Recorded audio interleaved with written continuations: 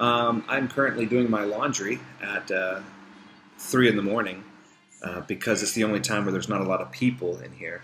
Um, there's only about like three machines, and I feel awkward when I walk in, and all three of those machines are kind of taken up.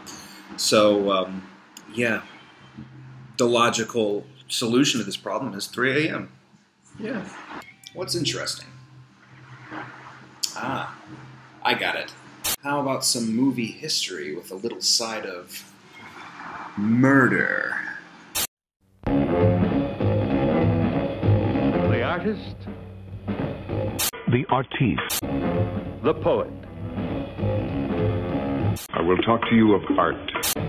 the figure model who loves to show it. I'm almost naked.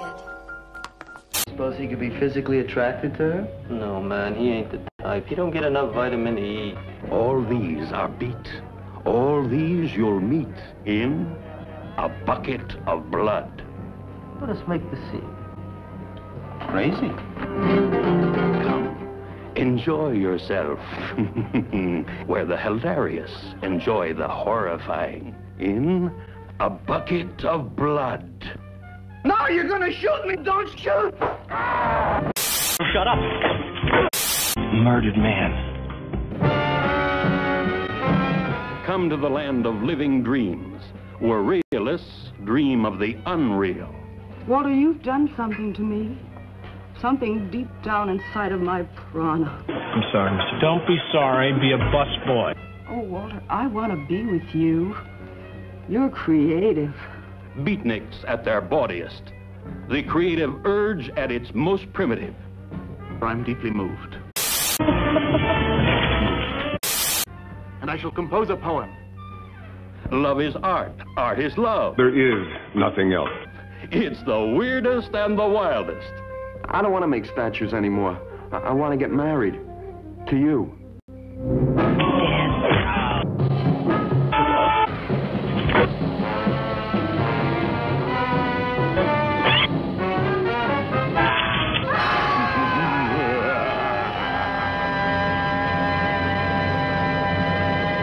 Going to make next, Walter?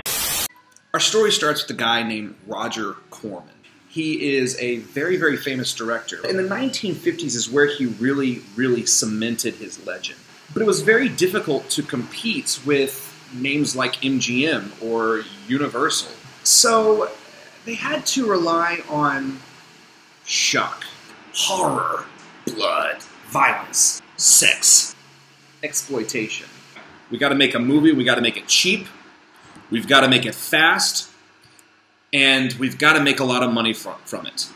That's where Roger Corman comes in. Roger Corman was a legend for making movies fast, cheap, and on the fly.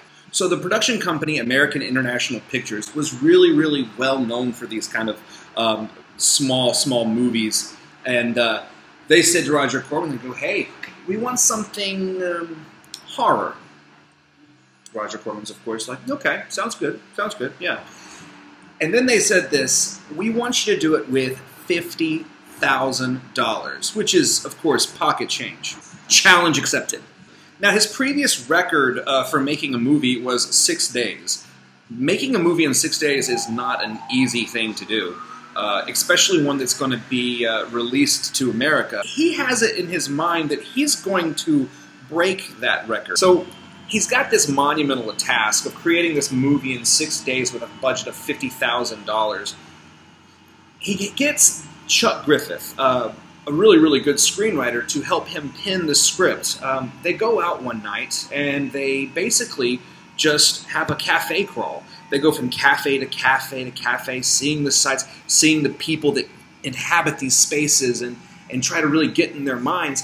And at the end of the night, they have their script. The story is simple. You have a busboy who works at a beatnik bar, and the busboy wants to be an artist. He wants to make statues and sculptures, but he's not very good with clay.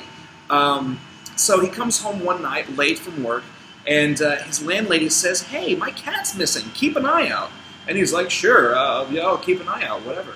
He goes to his home. He's bought a big thing of clay, and he's ready to start. But of course, like I mentioned, the guy sucks. And then suddenly he hears something. What was that? Oh, what's the matter, Frankie? How'd you get yourself stuck in a wall? The cat is trapped in the wall. Now, in Screenwriting 101, you learn about the saving the cat moment, the moment where the hero rises up and does something heroic to let everybody know that this character, this character right here is the hero. This character is the one you will empathize with. This is the character you will cheer on. And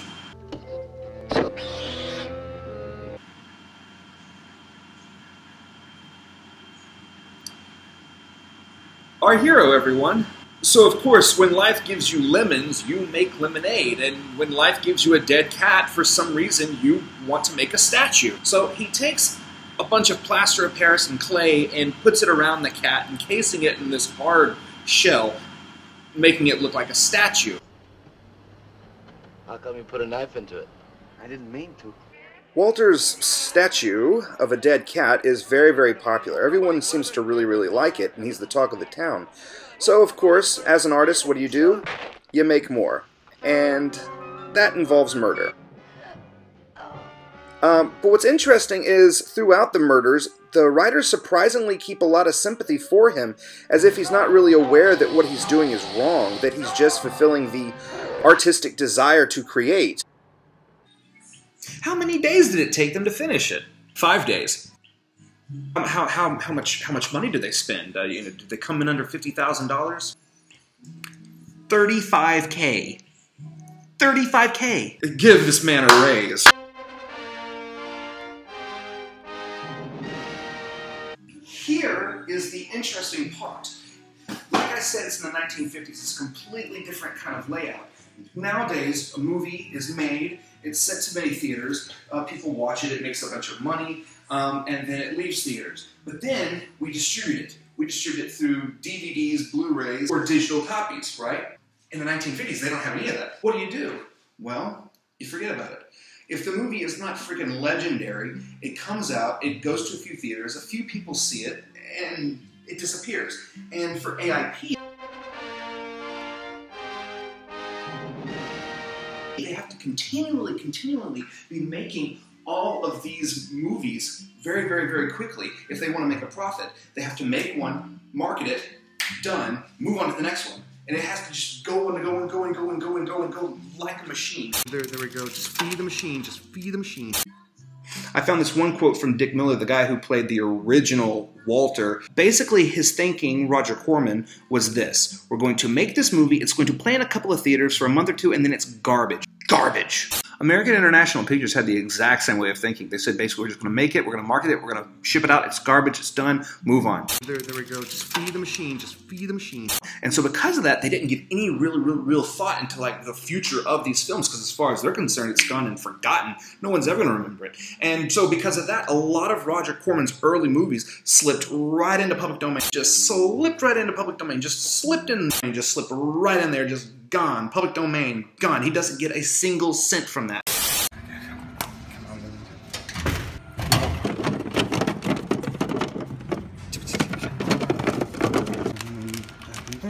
There we go. Go, go, go.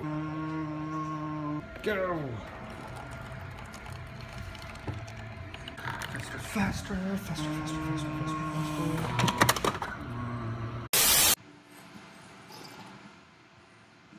Where was I? Oh yeah. Roger Corman doesn't get a red cent for any of his earlier work. So what do you do?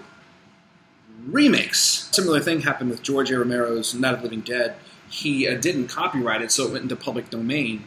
And uh, because of that, well, a lot of people have tried to make a few remakes. I think there's been two um, to try to kind of help him reclaim his uh, his work. He decides to remake it in 1995 um, as part of a Showtime series that he was doing at the time, and uh, they remake it, but they set it in the 90s. In the 1995 one, we have uh, Anthony Michael Hall. Of course, you may know from The Breakfast Club as the nerd.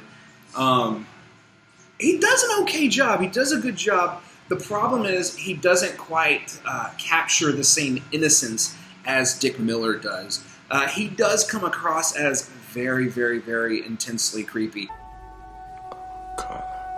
Which I know is strange because I'm talking about a movie where the main character kills people and then covers them with plaster and passes them off as works of art. But also, you have Sam Lloyd, who most of you might know as Ted from Scrubs, who plays Walter Paisley's boss. The love interest is played by Justine Bateman. Get away from me, Walter! Um, and uh, also, David Cross is in this one. See, I spelled the word feel with an extra E to emphasize exactly Excuse me. And then this is also, I think, I haven't been able to find an earlier one, but I think this is Will Ferrell's first on screen performance. I don't have the funds to be buying various pieces of artwork. Good luck, though. It's very Will Ferrell. When it comes right down to it, both movies are incredibly similar to each other. In fact, there are times where you're watching the 1995 one and they take they take um, they take dialogue directly from the first one, and I'm not upset with that. Absolutely not upset with that because the dialogue from the first one is so absolutely perfect. If you changed it, it would really be like drawing a smiley face on the Mona Lisa. Of course, there's a lot of new things that they add into it, but that's awesome too. Um, for example, take this scene. These are uh, from our Roadkill series. I take the pictures. I do the research. Oh. As a matter of fact, we actually do the driving as well. That's one of the new pieces of dialogue, but the beat matches the original dialogue from the first one perfectly. And personally, I feel like it really, really does capture the the spirit. Um, and I also think that it's kind of mom. It's kind of and personally, I, th- I feel like it's it's uh, very good at mocking the 90s with their kind of grunge and their extreme kind of attitude. Well, that about wraps it up. It's a tiny chapter in the legend of Roger Corman, but it's one of my favorites. If you ever get a chance to watch one of his movies, don't hesitate. You'll thank yourself.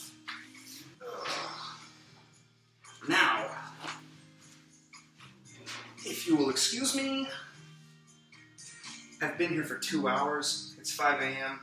I'm starving. But I'll leave you with this. What do you want? Well, as long as you're here, you might as well listen. Remember Mad TV? I got something to say about wanting, not getting. Remember the character Stuart? But I don't talk with my mouth. I hope that's okay. Yeah, same guy.